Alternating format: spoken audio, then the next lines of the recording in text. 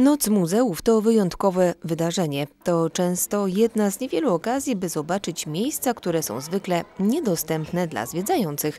Muzeum Regionalne w Bełchatowie zaprosiło w swoje progi, organizując wyjątkowy wernisaż wystawy pod nazwą Uskrzydleni, na której swoje obrazy i rzeźby prezentował Eugeniusz Molski.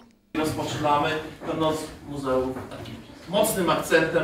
Witamy na wernisażu wystawy y, naszego artysty, pana Eugeniusza Molskiego. Eugeniusz Molski to artysta plastyk, ceramik i podróżnik, urodzony w 1942 roku w Bagienicach. Jest absolwentem Państwowego Liceum Sztuk Plastycznych w Nałęczowie i Państwowej Wyższej Szkole Sztuk Plastycznych we Wrocławiu. Ma w swoim dorobku blisko 200 wystaw indywidualnych i zbiorowych w kraju i za granicą. Jest także laureatem prestiżowych nagród i wyróżnień.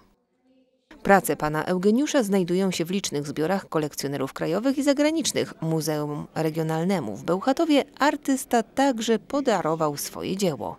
Dodatkowo w ramach Nocy Muzeum dla dzieci i młodzieży przygotowano anielskie warsztaty plastyczne. Chętni mogli także nie tylko zapoznać się ze stałymi ekspozycjami, ale także wejść do niedostępnych na co dzień piwnic dworku Olszewskich. W ramach wydarzenia nie brakowało także akcentu typowego dla naszego miasta, czyli jabłka.